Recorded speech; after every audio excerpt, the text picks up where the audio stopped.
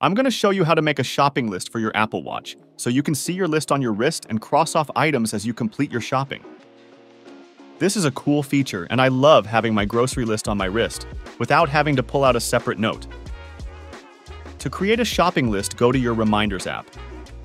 You can do this on an iPhone, iPad, or your Mac computer. You could even do it directly on your Apple Watch, but I'm using my iPhone here because it's easier and faster. Under My Lists, you might already see a list for groceries, but if you don't, we'll create a new list. Give your new list a name and change the type from standard to groceries. You can also change the color and customize it with an icon if you want to.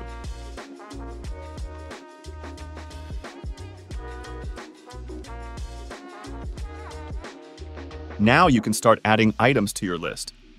This can be any kind of shopping list, but I guess groceries is what people usually create shopping lists for. What I like about it is that when I add items here, my phone will automatically categorize them, making it easier to grab everything when I'm at the store. Alright, so my list is ready, and I'm ready for my shopping. Obviously, you could just use your iPhone at the store to cross everything off your list, but since I often have my hands full, I prefer to do this on my Apple Watch. On your Apple Watch, open the Reminders app and scroll down to Groceries. Boom. There's your grocery list, conveniently available on your wrist.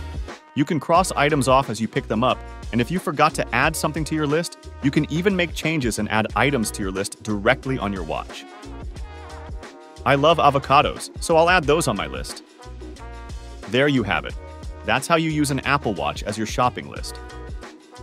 I hope that was helpful, and before you go, I have one ask for you. Hit the like button, drop a comment, or subscribe to our channel. All these things are a great zero-cost way to support our channel, and it helps us create more guides like this for our audience. Thanks for watching. I hope to see you guys in the next tutorial.